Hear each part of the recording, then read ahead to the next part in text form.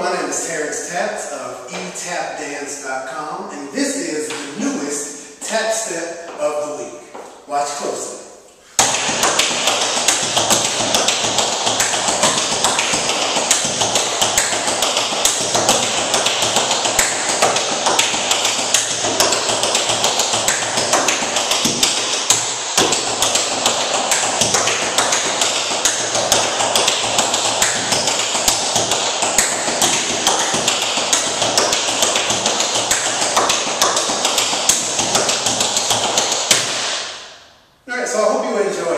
I'm also going to be doing something a little different this week. I'm going to be doing a video that I'll send out to my email subscribers that gives you an idea of how I use the tap step of the week. So instead of just giving the demonstration video, if you head over to etapdance.com, you'll also get to see how I use this combination for inspiration.